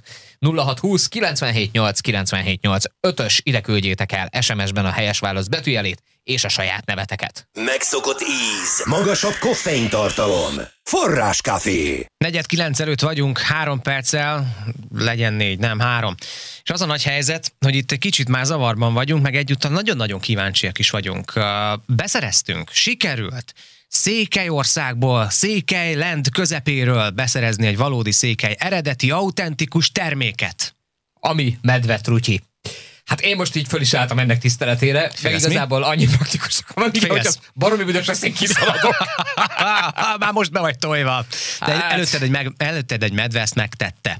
És akkor valaki, egy szakember, egy bizonyos szakember, akiről sajnos nem tudjuk, azt, hogy ki ő, milyen munkaköri leírása van, és hogy napi 8 órában végzi -e ezt a munkáját, de hogy ez eredeti barna medve hátralék, amit maga után hagyott. Ürülék. Így van, tehát ez egy e- eredeti erdélyi barna medve ürülék. Nem tudom, hogy milyen mennyiségből, és egyébként ez milyen minőség ellenőrzésen megy át. Most tegnap jártunk állatkertbe, azt tudom, hogy az afrikai elefántnak 150 kiló az Na, azt A nem fogják konzerválni. ennyi nincs, de hogy azért elég egyet találni akkor. Igen, a konzervbe jutott épp elég. Egyébként rá van írva arra lesek, hogy gluténmentes, meg ugye tartósítószermentes, meg GMO-mentes, vegán. Nem igazán tudjuk, hogy mi a funkciója, tehát hogy ezzel mit lehet csinálni, amellett, hogy az erdélyi medve programot, vagy mi a búbánatot ugye támogatsz vele. Az rá van írva, hogy emberi fogyasztásra nem, bármilyen más célra viszont használható. Hát én nem, azért magamra nem kenném testápoló gyalánt, az biztos. Szerintem azt ne erőltesd. De ezen kívül még, hogy mi mindenre használható, fantáziádra bízlák. Tehát, hogy ennek a terméknek a leírása, a felhasználása, de várja még a szavatossági ideje is, hát erősen hiányos. Tehát, hogy igazából csak egy ilyen szép felfelé kerekített leírás van, a többit mind-mind a fantáziádra bízzák. Az biztos, hogy felbontás után 22 órán belül felhasználandó. Épp ott 22, 23 a 24 mi van? Tehát, hogy egy napig se tudod eltenni. Készültünk, itt van egy ilyen kisebb méretű fehér, mert zörgök vele, hogy halljátok, szemetes zsák, ami hát kimondottan arra lehet jó, hogyha ez ordinári büdös lenne, amire azért valljuk be, hogy van esély, mert hogy effektíve medveszar van benne, akkor, akkor ezt így becsomagoljuk, és hát nem tudom, hova fogjuk kidobni mondjuk, mert ezt így nem beszéltük át. Egy valamit nagyon meg kéne még fejtsünk. Mert azt eddig is tudtam, hogy Erdélyben vannak olyan magyar szavak, amelyek, amelyek a, itt Magyarországon egyébként nem nagyon használatosak. Tehát, hogy néha kell vakarnod a fejed, hogy akkor mit is kell csinálni. Használat előtt szétmákányolható. Szétmákátyolható. Mákátyolható? Ha mákátyolsz, akkor makatyolsz, kamatyolsz. Ah, nem, tehát azt nem, az Nem az. mindjárt mákátyol. Keres már rá, hogy Telefon, mit kell Google a csinálni, barátunk. mert azt írja, hogy használat előtt kell szétmákátyolni, és ha nem mákátyolom szét, akkor lehet, hogy nem lesz jó a hatás. Nem találsz rá megoldást? Várjál, azt Mák- mondja, hogy egyetlen egy cikket dobott fel, ennek a 20 magyar szónak nem tudod a jelentését. Hát azt nem tudom, többinek amíg tudom megtalálod, addig akkor gyorsan elmondom, hogy állítólag ugye ez ö, az ebből befolyt összeg a medve problémák megoldására fog majd fordítódni, az erdélyi medve jóléti programra fordítjuk. Na, hát ö, azt se tudtuk megfejteni, hogy akkor ezt milyen úton, módon, te nem fogod megtalálni, de Nem fogom megtalálni, úgyhogy ez egy rejtély marad, mit jelent a De szétmákátyol. akkor ez most mákátyolás mentesen lesz felbontva, ugye tudod-e, hogy akkor bevállaljuk mákátyolás nélkül? Hát figyelj, ha már beígértük, ha már itt van, elhozták nekünk egyenesen Erdélyből, akkor legyen. Eddig egyetlen ember rohant ki a stúdiónkból, az a Patrik volt, ugye még tavaly nyáron, amikor azokat a, az ordinári rossz cukorkákat ettük, ha emlékszel. Sanszos, hogy legalább ennek is ilyen. Az a helyzet, hogy az első alkalom, amikor megfogtam, egyébként nagyon szép dobozolása van. Tehát a design, a logó, a tervezés, az gyönyörű. Maga a körítés, a szöveg hozzá, az valami gyönyörű. Tehát, hogy van humorérzék, és van, van érzék ahhoz, hogy azért erre mégiscsak felkapd a figyelmed. Én azt hittem, hogy amikor megfogom ezt a kis konzervdobozkát, akkor ennek lesz majd masszív súlya. Mondjuk az gyanús, hogy nettó tömegnél, mikor rá van írva, hogy 300 g, az utolsó nulla ki van filccel satírozva. 300, amikor belekerül, és közben kiszárad, vagy mi? Lehet mi? egyébként, hogy az van, igen, mert ugye hát azt írták rá legalábbis a konzervre, hogy melegen csomagolt. Nem irigylem azért azt a munkakört, tudod, tehát akinek ilyet kell csomagolni, nem tudom, lehet, hogy gép csinálja. Ja, jó szar munkája van. Szó szerint. Itt, Szóval, na. van, itt van a Vigyorgó Maci mellett egyébként a B Csaba kedvence, tehát még az is rá van írva, még hivatkozás is van, kérlek szépen. B Csaba kedvence. Na, F. Zoltán pedig elkezdi kinyitni ezt. Én roppant kíváncsi vagyok, itt lesz majd az orrom előtt, de be fogom rakni középre, hogy akkor te is a matériából egy kicsit részesülj. Nem tudom elképzelni, hogy ebben mi van, hogyha tényleg az van benne, amit ráírtak, Lenne tört a fülét, az azért az fontos. Tehát, hogy figyelj, Aha. eddig meg vagyok, és akkor le kéne húznom és a akkor tetejét. most azt Én nagyon félek. Én borzasztóan koncentrálj arra tényleg. Aha. Oh! Ebben tényleg az van. Oh! Várja, várja, de itt még nem érzem a szage. Tényleg? Nagyon rossz. Annyi... Oh! Ezt be kell csomagolni, Roland. Ez kegyetlen. Ez kell, már megmaradt itt az én szekciómnál. Ezt, hogyha sokáig így tartjuk, még a kamerával Figyelj. azért egy kicsit menjünk rá, mert eh, ugye szeretnénk Meg- azért meg- ezt meg- bemutatni. Ez van, ez van gyerekek. De tényleg, na, és hogyha remegő kamerát láttok majd a felvételen, az azért van, mert Bius is borzasztóan érzi magát tőle. Húha! Hát a biós arcát is kéne kamerázni most. Úgyhogy Becsomagoljam? csomagolt be, légy szíves, mert ez nagyon durva, ez nagyon durva, de még ne hagyd el a stúdiót, csak csomagolt be, légy ne bűzölögjön. De ez tényleg kegyetlen. Uh, na jó van, ezzel, ettől valahol megszabadulunk, nem tudom, hogy hol. Uh, elég átható, elég penetráns, Na, kiviszem majd akkor. olyan Ki... nem mondhatni, hogy, hogy nagyon kellemes Azt hiszem, hogy- most a stúdiót. Szerintem mi most szellőztetni fogunk, gyanítom, ettől megszabadulunk, egy picit zenélünk, lehet egy picit többet zenélünk, hogy itt közben átszellőzön a stúdió, aztán akkor jövünk majd vissza. Hú, hú, hú, ez kemény. Igen, na nézzétek majd meg a videót. Ettől felébredsz. Forráskafé. 6 perccel vagyunk fél kilenc előtt, kinyitottuk mind a kettő ablakot, muszáj volt egyébként, annyira penetráns szaga volt ennek a cuccnak, édes jó Istenem. Nagy üdvözletünket küldjük Olivernek és Juditnak. Köszönjük, nagyon köszönjük. Hálásak vagyunk, hogy sikerült beszereznetek Erdélyből egyenesen, idehoztátok nekünk a jó kis székely medvetrutyit. Megvan egyébként a mákátyolnak a, a, jelentése. Akarod Na. tudni? Azt Aha. jelenti szó szerint, hogy szétmorzsolás. Tehát, hogyha szétmákátyolod, ugye azt írták, hogy felhasználás előtt szétmákátyolandó. Hát mákátyolja szét a atya úristen az, hát de komolyan. Hát akinek hat anyja van, az morzsoljon medve szart a kezével. Na, Kesztyűvel, csezd igen, gumikesztyűvel, oké, persze, hát azzal még oké, de Kesztyűvel, és FFP2-es maszk.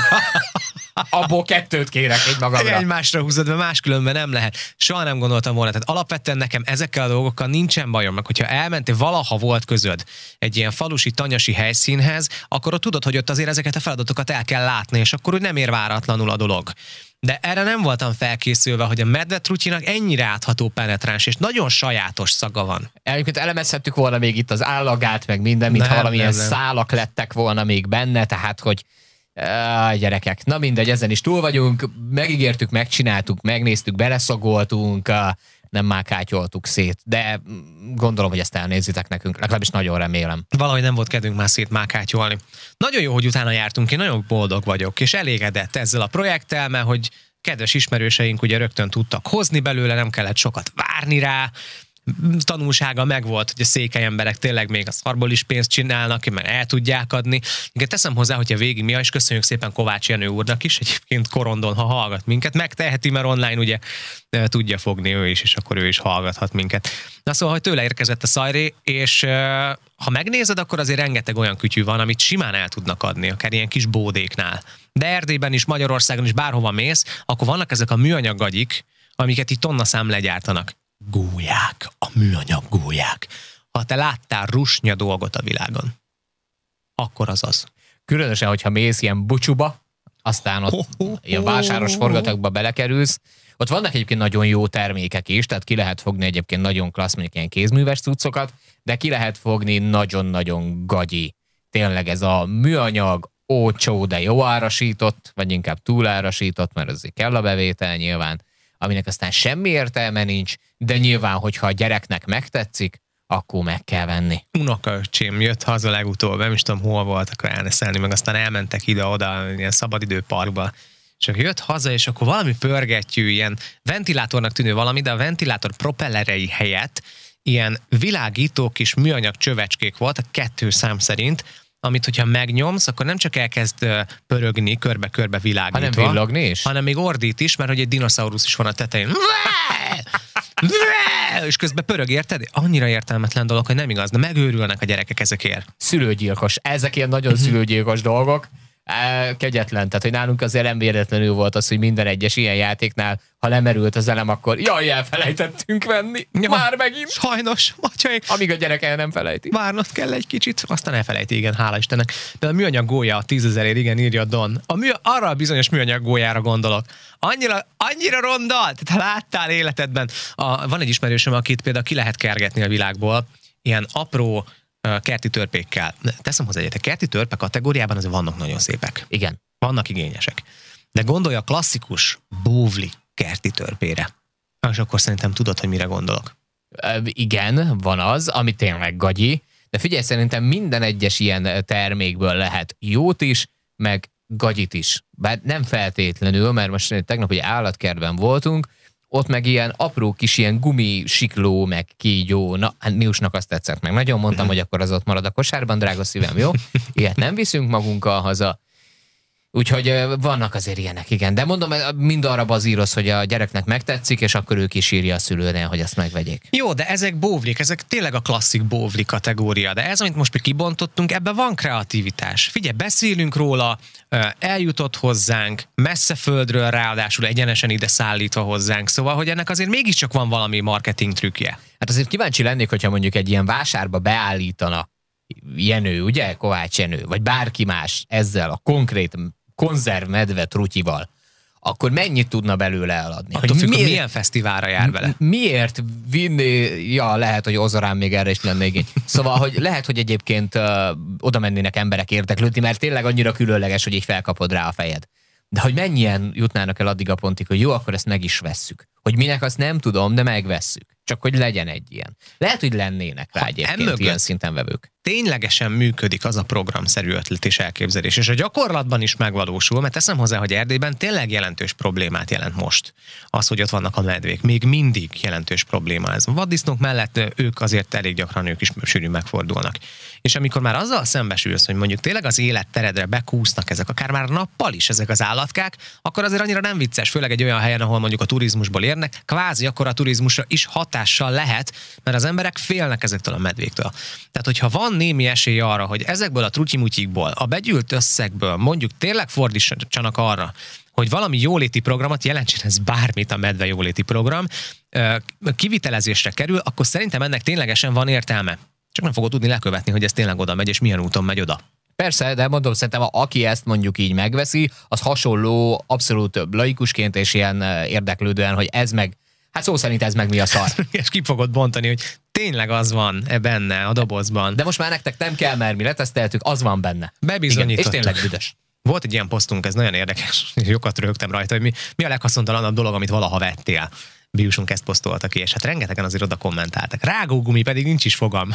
Ha Istenem, konyhai szeletelő, valaki egy ilyen műanyag kacsát belinkelt oda, a, a képet megmutatta, az mondjuk tényleg olyan, ha még ha úszik a víz tetején, és mondjuk a fürdőkádba való, annak még mindig van értelme.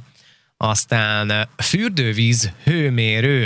Hát miért ez babásoknál mondjuk nem egy elhanyagolható szempont, nem? Ott nem, de hát ott alapvetően ilyen kézmeleg. Én nem tudom, mi sose hőmérőztük a fürdővizet. Ja, Istenem, egyik, egyik hallgató azt írja, ananászlé, mert nem értette.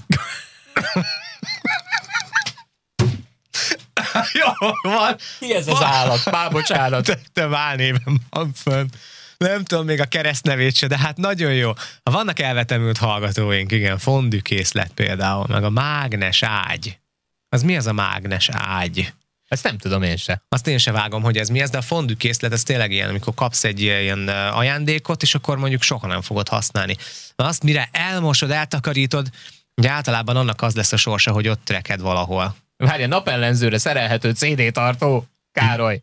Ne, van ilyen? Azt nem tudom elképzelni. Borsó szemező. Te jó ég. De várj, az egyik legfölöslegesebb tényleg az, az a, van egy bizonyos vállalatnak olyan fülese, ami ilyen zsinór nélküli füles. Nem mondom ki a nevét, mert akkor mindenki tudni fogja, hogy mi az, de egyébként nem csak ez a vállalat gyárt már ilyeneket, és akkor ahhoz vannak ilyen tartók.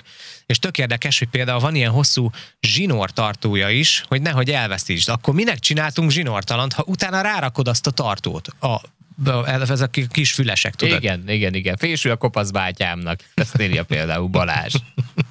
Aj, távirányítós golyó. Mi van? Van ilyen. Borsó szemező készülék is van. Hogyha nem akarod a borsót a hüvelyből szépen saját kézzel kifejteni, akkor van egy ilyen eszköz hozzá. Aztán különböző előfizetéseket írnak, ugyanan vásárolt elektromos sokkolót próbáltam ki magamon, ami ezután el is romlott rögtön. Á, keményebb vagy, mint a sokkoló, írja nekünk Józsi. Ja, igen, lottó például. Na, írjátok meg tényleg, fönt megtaláljátok ezt a posztot. Engem nagyon érdekel, hogy akkor ki mire költött már úgy pénzt, amire szinte azonnal megbánta és tudta, hogy ez bizony fölösleges pénzkidobás. Néha egyébként van, hogy tudod, de valamiért poénnak veszed.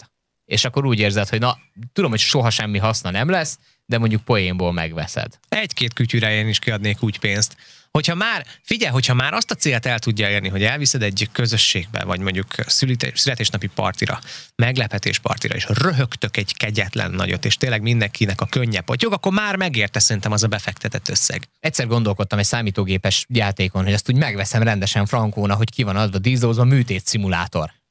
Műtét, műtét szimul- szimulátor, igen. Gondoltam, hogy mégiscsak olcsóbb, mint az orvosi egyetem, de aztán végül ott hagytam a polcon. Még hogyha leírás is van hozzá latin nyelven, akkor azt mondom, hogy kész, kiváltható az orvosi egyetem ezzel. Valószínűleg nem fogják elfogadni a kórházakban, hogyha állás után keresel.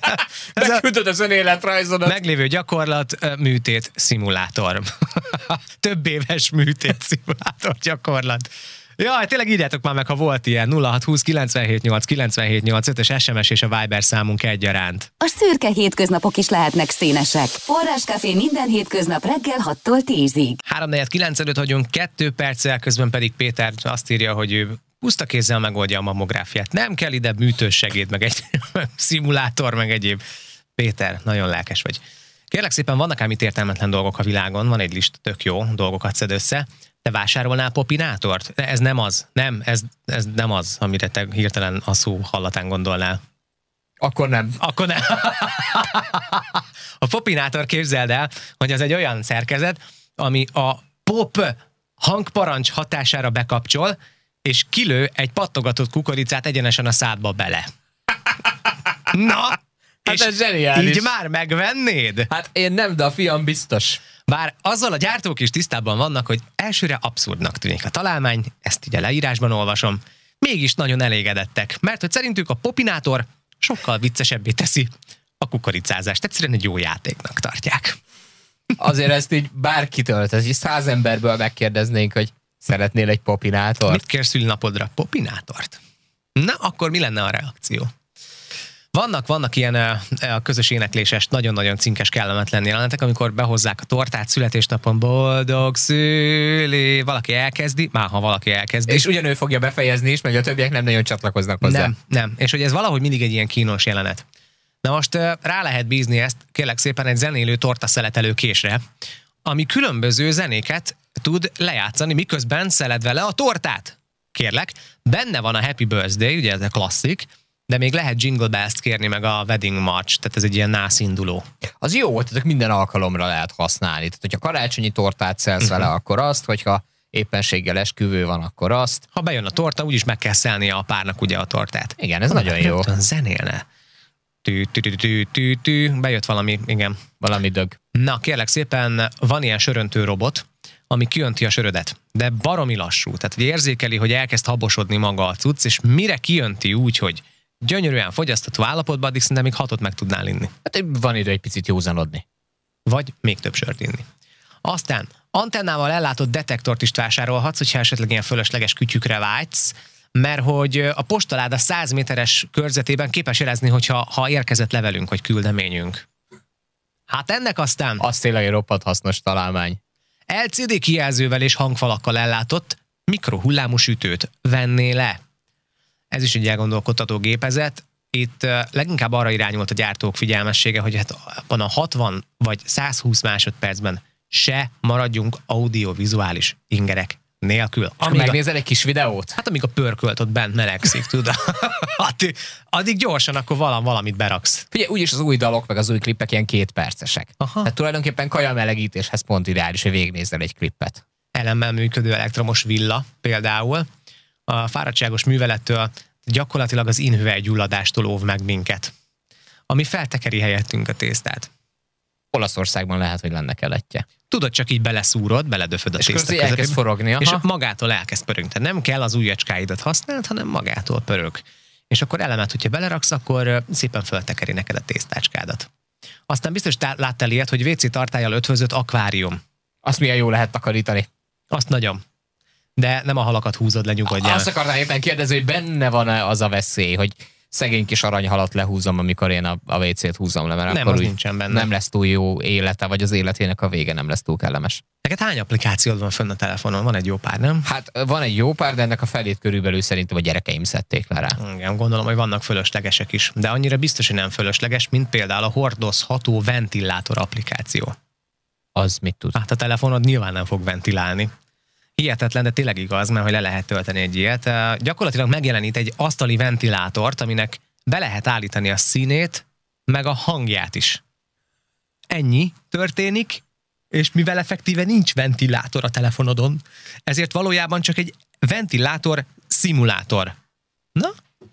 Tehát, hogy el tudod képzelni, mintha menne egy ventilátor, és lehet, hogy működik ilyen pszichoszomatikus alapon, hogy úgy már, mintha éreznéd a fuvallatot. a hűs fuvallatot. Állattolmács applikáció, tehát hogyha esetleg nem sikerülne beszélgetni a kutyáddal, akkor le, le letölteted ezt. Á, és akkor ilyen előre eltárolt állathangok, amik véletlenszerűen egymás mögé, vagy hát ismétel a program, és akkor állítólag ezzel, ezzel tudsz kommunikálni az állatkáddal otthon. Nagyon jó, ez roppant hasznos. És tudod, az a durva, hogy ezekbe a dolgokba emberek időt, energiát, pénzt fektettek, hogy ezeket létrehozzák. Figyelj, le is tudsz tölteni még egyet, és talán ez a kedvencem, ez az I'm Rich alkalmazás, gazdag vagyok, van pénzem. Na, a haszontalansági mutató itt kiakad, mert hogy ennek a, a, az alkalmazásnak az a lényege, hogy egy fekete hátteret takar ez a kifejezés, hogy I'm rich, tehát képzel egy fekete hátteret, amire rá van fehér betűkkel írva az, hogy gazdag vagy. Ennyi. Ennyit tud? Aha. Ennyit tud. Na, viszont az, hogy valaki ezt eladja pénzért embereknek, ő viszont, és ebből mondjuk meggazdagszik, na ahhoz viszont már kell tehetség, látod. Kell, mert hogy egyébként humornak szállják, maga az applikáció kegyetlen drága. És pont azért, ha te képes vagy kifizetni fölöslegesen ezt a kegyetlen drága összeget, akkor megmutathatod a többieknek, hogy I'm rich. Fú, te, hogy ez miért nem nekem jutott eszembe? Szerintem ötletnek Zseniális. Ez zsen, hogy miért ilyenkor kapod a, a fejedhez a kezet, hogy miért nem. Aki letölti, az egy igazi kretén, viszont aki létrehozta, az egy zseni. És meg tudod mutatni a többieknek, hogy egyébként ennyibe került, itt tényleg egy hatalmas összegről van szó, és ennyit tud mutatni nekem az applikáció, de nekem megvan az a jelvényem, hogy I'm rich, Ez nagyon jó. gazdag vagyok. Ez nagyon jó. Jó van, ilyeneket azért még próbáljunk összegyűjteni. Jó, megnézzük, hát ha akadnak még ilyen nagyon haszontalan kütyük, találmányok, applikációk, ezeket tőletek is várjuk. És még akár azt is tényleg, hogy milyen felesleges dolgokra adtátok már ki a pénzt. Felesleges, idézőjelbe teszem, ha egyáltalán tényleg felesleges. Ha használtátok, akkor az még a jobbik eset. 0620 978 978 ez az SMS és a Viberünk. Forráskafé. Vidám ébredés minden hétköznap reggel 6-tól 10-ig. 9 óra után 4 perccel is. Sőt, még ez az óra a miénk itt a kávéban, és az előző órában beszélgettünk többek között arról is, ugye, hogy gyakorlatilag is lehet várat építeni, mert hogy ugye a székely macikakit bontottuk, tényleg, tényleg macikaki volt, nem tudom milyen kaki volt, de nagyon büdös. És hogy bármit el lehet adni, csak ugye a jó körítés kell hozzá. És itt összeszedtünk pár olyan értelmetlennek tűnő dolgot, kütyüt, föl, találmányt, ami, ami tényleg fölösleges. De az emberek megveszik, pénzt adnak érte. Mihez kezdesz azokkal a dolgokkal, aminek már látszólag nincsen haszna az otthonodban? Add el. El tudod adni.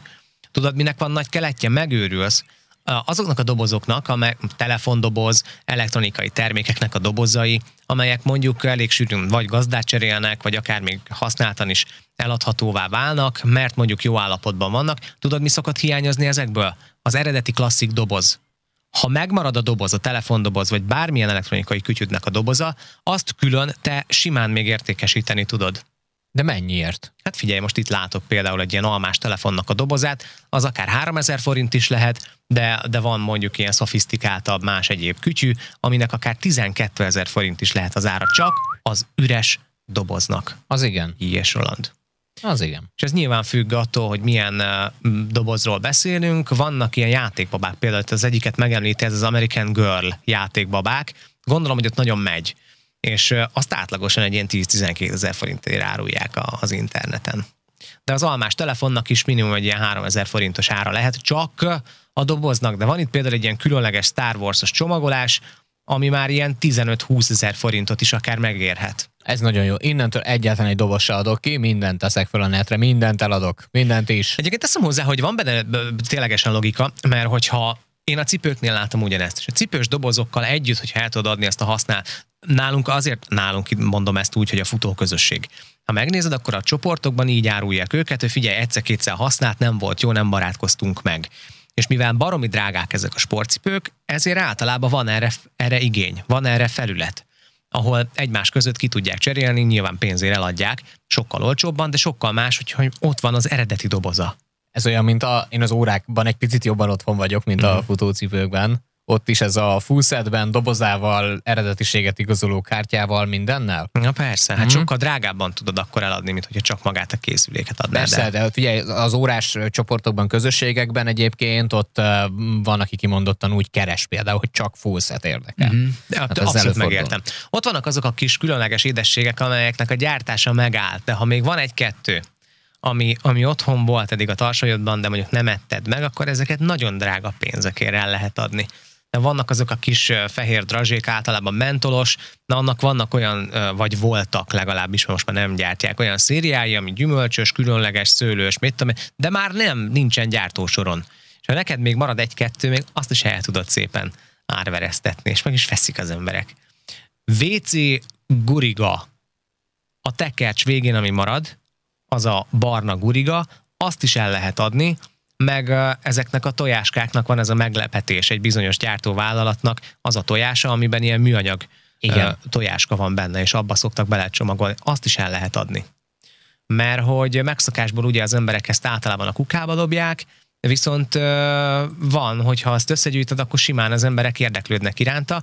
Azt írják, hogy 100 darabos csomagban eladásra kínált WC papír gurigák átlagosan 4000 forintért, míg szintén a 100 darabos csomagban eladásra kínált ilyen műanyag tojáskák, azok általában ilyen 1000 forintos áron váltanak gazdát. Parfümöknek a kiürült üvegcséi, különleges parfümöknek. Ez drága lehet, és szintén ilyen 20 ezer forintokról beszélünk. Üres üvegekről, Roland. Üres üvegekről. Uh-huh. Jó van, az a tanulság, tényleg, amit lehet, azt félre kell tenni, azt pénzt kell belőle csinálni. Na most, ha valakinek eleve volt hajlama a gyűjtögető életmódra, meg ez a majd csak jó lesz valamire, akkor innentől, ha azt most hallja, akkor pláne így fogja ezt tenni. Nem biztos, hogy ez egy jó ötlet, de ha egyébként meg pénzt tud belőle csinálni, és mondjuk azért egy drága parfüm esetében mondjuk az árának egy része visszajön, azzal, hogy utána eladod az üvegét, akkor az már egy jó kör lehet. Ami még jó kör, az a játékunk, ne feledjétek, hogy ma is lehet velünk játszani, mégpedig négy darab belépőért a szombati Grundfos Tatabánya Kecskemét férfi kézilabda bajnokira. Ez ugye Tatabányán lesz, szombaton este 6 órától a multifunkcionális csarnokban A kérdésünk pedig így szól, most füleljetek nagyon. Hány gólt lőtt eddig a bajnokság 24 fordulója alatt összesen a Grundfos tatabánya? Az A válasz lehetőség szerint 704-et, a B szerint 204-et. A helyes válasz betűjelét és a saját neveteket küldjétek el SMS-ben a 0620 978 978 5-ös számra. Van még egy kevéske időnk, úgyhogy addig még érkezhetnek a jó megoldások, és akkor még ebben az órában, még mielőtt elbúcsúznánk, ki fogunk sorsolni valakit, aki tehát ezt a négy darab belépőt el fogja vinni a szombati mérkőzésre. Hajrá! A szürke hétköznapok is lehetnek színesek. Forráskafé Fenyvesi Zoltánnal és Ijés Rolanddal. Micsoda fesztivál hangulat, kérem szépen. Az emlékszem Sopronban, hát ez egy Soproni nagy fesztiválnak volt ugyebár a himnusza, amikor 2015-ben. Hát az sem a volt. 10 perce vagyunk fél tíz előtt, úgyhogy ez még mindig a café, úgyhogy még mindig lehet még jelentkezni, a még az hányszor hangzott el. A játékunkra, amelyben négy darab belépőt fogunk sorsolni. Gyorsan mondjuk meg el a kérdést, Léci, segíts már jó abban, és akkor még aki nem tette, most megteheti, hogy elküldi. Hány gólt lőtt eddig a bajnokság 24 fordulója alatt összesen a Grundfos tatabánya? Az A válasz lehetőség szerint 704-et, a B szerint 204-et. 0620 978 978 5-ös erre a számra küldjétek el SMS-ben a helyes válasz betűjelét és a saját neveteket ne feledjétek, hogy ezzel négy darab belépőt nyerhettek a szombati Grundfos tatabánya Kecskemét férfi kézilabda bajnokira. Egyébként az este 6 órakor kezdődik majd a tatabányai multifunkcionális csarnokban. Igen, Roland, én téged most elküldelek melegebb éghajlatra. Hál' Istennek, végre! De? Úgy örömmel, most a nyár elején, remélem télen. Most foglak elküldeni téged melegebb éghajlatra, de mindezt teherhajóval fogom tenni. Az nagyon, pont erre vágytam. Utaznál neve célzásnak egyébként, hogy miért pont teherhajót választunk neked, de ezt nem, ezt nem azért mondom, mi- a A sértődés sima is elbír még. elkerülése véget, igen, hanem azért majd képzeld el, hogy vannak olyan emberek, akik simán lecsapnak ezekre a lehetőségekre, hogy teherhajóval közlekedjenek. Baromi lassú, nagyon sokáig tart, mert hogy egyébként ott a, az üzemanyagfogyasztást is figyelik, és ezért nem húznak bele, hanem szépen lassan, tötymörgősen halad ez az egész cucc. De hogy nagyon sok körülmény van vele, állítólag baromi olcsó. Tehát, hogyha te képes vagy vállalni az ezzel járó ilyen kisebb macerákat, vagy akár a nagyobb macerákat is, akkor állítólag így fillérekért, ahhoz képest, amennyibe kerülne mondjuk egy ilyen ö, hajós utazás, ahhoz képest fillérekért tudsz utazni. mondjuk, mondjuk úgy, hogy a körülmények sem feltétlenül ugyanazok, mint egy, egy ilyen luxus hajóúton, de hogyha valakinek egyébként az a célja, hogy eljusson, mit tudom én, egy ilyen karib térségbe, vagy valahova messzire, és tényleg nincs rá annyi pénz, akkor lehet, hogy egy jó megoldás nem feltétlenül családostul, de ha valaki mondjuk egyedül van, akkor miért ne? Semmiképpen nem családostól. Azt, azt senkinek nem javaslom, de ezt ö, körülbelül ilyen szöveggel hirdeték meg, hogyha spórolni akarsz. Ha utálod a tömeget, ha folyton a karbon lábnyomodon aggódsz, és ha teljesen egyedi élményre vágysz, akkor ez mondjuk neked kifejezetten jó lehet. Mondjuk inkább rutinos embereknek tudom ezt javasolni, mert azért sok mindenre oda kell figyelni, és azért jó, hogyha van türelmed is. Ugye itt alapvetően kevés a férőhely, tehát hogy a teherhajó ugye a nevében is benne van, nem a személy szállításra hivatott létrejönni. De amellett azért van egy ilyen 12-15-20 férőhely, olyan kabinok, ahol egyébként simán tudsz magadnak jegyet váltani. Nem akarok hülyeséget mondani, de azt hiszem a Badás annyinak van egy sztoria arról, hogy ő hogyan jutott el először Japánba. Többször volt, nagyon szereti a japán kultúrát, és ott azt tudom, hogy nagyon hosszan ment vonattal, és azt hiszem, hogy abban volt egy teherhajós rész is. Uh-huh. Ha valaki bárhol összefut a badárral, akkor ezt meséltesse el vele, mert parádé, tehát hogy szakadtak a röhögéstől konkrétan. Hát magát az utazási élményt, igen, végig, az elejétől végig, végig tudod röhögni, mert tényleg ahogy előadja, az nagyon jó. Előfordulhatnak késések, szóval, hogy ez, ez a másik macera, amivel szembesülnöd kell, hogy teherhajón akarsz közlekedni, hogy hát ebben a műfajban azért az is előfordul, hogy írtó korán indul, de az is, hogy sokkal nagyobb csúszással indul. Mert itt lehetnek fennakadások, nem minden áru helyeződött el megfelelő időben, valamire még várnak, technikai probléma, tehát hogy mindig van vele macera, és ezért sokkal-sokkal-sokkal korábban oda kell ér, az is lehet egyébként, hogy korábban elindul, csak hogy tartsák az ütemtervet. Ilyen igazi életművészeknek, tudod, aki úgy céltalanul lézeng, utazgat, az a cél, hogy, hogy menjen a világ A pontjából a B pontjába, lehetőleg ezt minél olcsóbban tegye meg, mindegy mikor indul, mindegy mikor érkezik. Szóval ilyen típusú embereknek való ez szerintem. Azt írják, hogy elég lassú az utazás, mert hogy ugye a költségek leszorítása érdekében itt azért nem húznak bele annyira, hanem egy ilyen ideális fogyasztást próbálnak meg kicsikarni ebből a hajóból, hát hatalmas nagy súlyokat szállít, úgyhogy azért ez figyelembe kell nekik venni. De vannak például teherszállításra szakosodott ügynökségek, akik például simán eladják még ezeket a jegyeket is. Nem fogod megtalálni azon a palettán, ahol mondjuk a személyszállításra specializálódott turista generáló alkalmazásokat és lehetőségeket kínálják, mert ott nem fog ez szerepelni. Tehát neked magadnak kell utána járjál. De ez jó, figyelj, én azt gondolom, hogy ha valakinek tényleg mindegy, hogy milyen körülmények között utazik, csak maga, hogy eljusson oda, ha, ha csak az számít, és költséghatékonyan, akkor miért nem próbálná ezt ki így? Nincs internet, azért ezt vett figyelembe. Vagy ha van, akkor baromi drága, mert csak ilyen műholdas internet hozzáférés van, percenként 5 dollárért. Úgyhogy szerintem ott, ott ne erről a test, e-mail tudsz küldeni, az, az ingyenes. Tehát, hogy legalább tudod értesíteni azokat az embereket, akik aggódnak érted, és fogalmuk nincs, hogy épp a világ melyik pontján vagy. Az étel miatt sem kell aggódni, azt írják, hogy napi háromszor van étkezés, és általában ezek egész jó konyhával vannak felszerelve. Úgyhogy azon se kell aggódni, mert tudsz enni, mit nem kell magaddal, és tudsz magaddal vinni, mert azt meg föl se engedik egyébként a hajóra.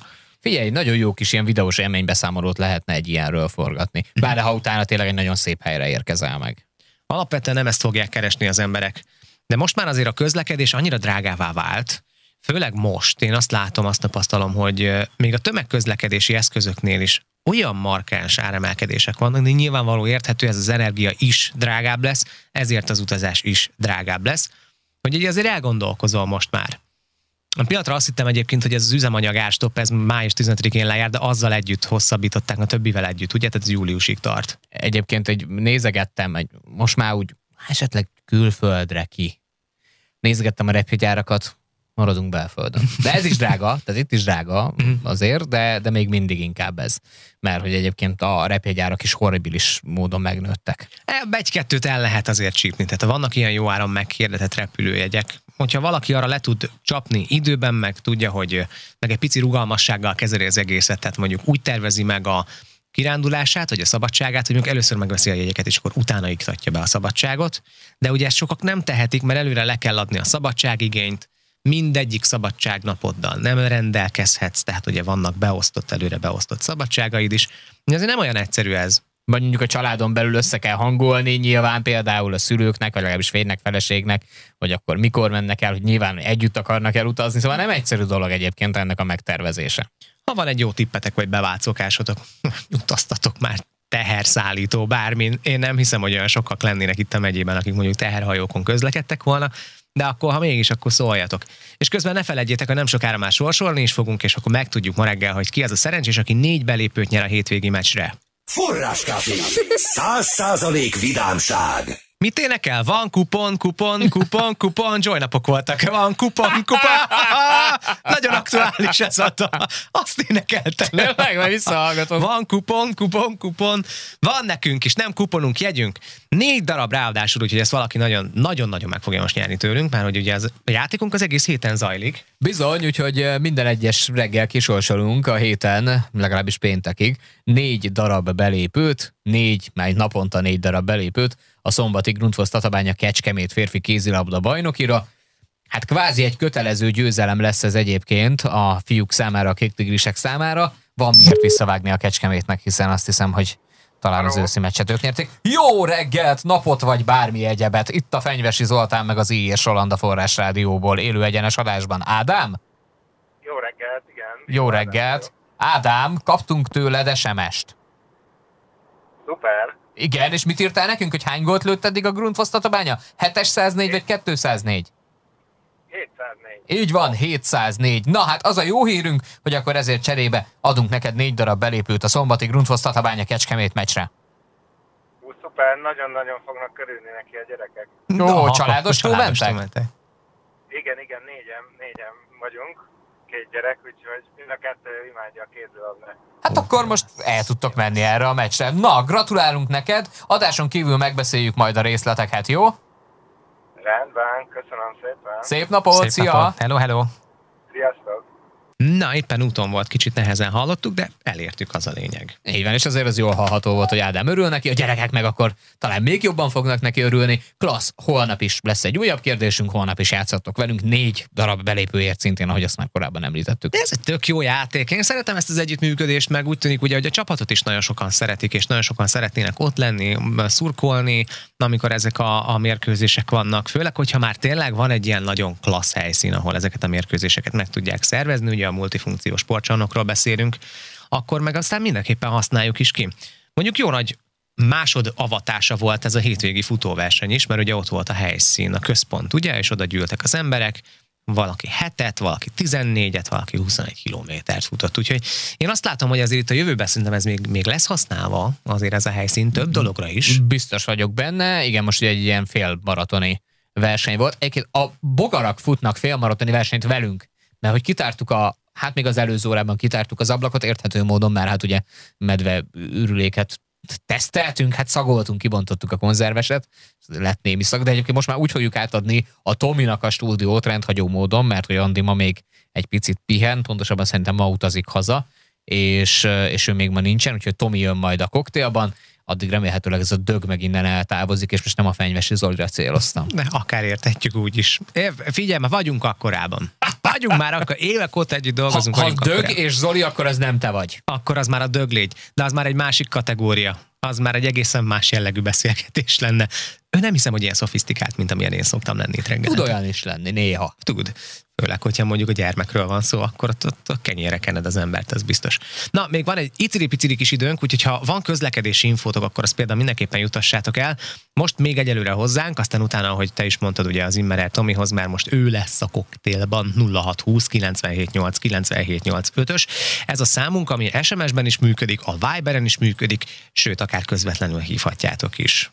Forráska, forráskafé, hogy jól induljon a nap. Akik a vidám ébredést garantálják, Fenyvesi Zoltán és I. és Roland. Egy perccel vagyunk, három negyed tíz előtt, és szépen lassan a kávé végéhez érünk.